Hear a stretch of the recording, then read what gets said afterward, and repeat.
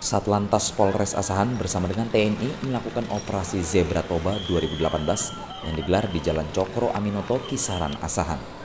Sejumlah pengendara yang tidak lengkap surat-surat kendaraan dan tidak tertib berlalu lintas kocar kacir saat melihat razia dan nekat melawan arus.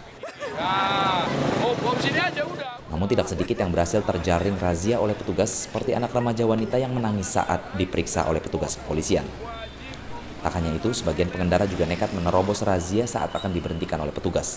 Bahkan seorang pengendara motor sempat membandel tidak mau menyerahkan kunci kendaraannya yang akhirnya membuat petugas harus mengambil tindakan tegas.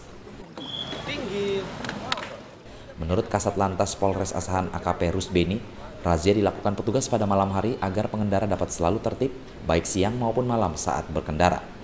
Namun dirinya sangat menyayangkan banyaknya pengendara yang tidak tertib berlalu lintas serta nekat menerobos razia yang dapat membahayakan keselamatannya sendiri. Baik, kami melaksanakan operasi zebra. Untuk itu kami melaksanakan operasi ini pada malam hari supaya masyarakat seputaran kota Kisaran tertib pada malam hari, tidak hanya di siang hari. Untuk kendala sampai saat ini masih belum kami temukan, namun yang kami sayangkan masih banyak pengguna jalan yang berusaha untuk menghindari razia, kemudian masih banyak pengguna jalan eh, yang tidak tertib.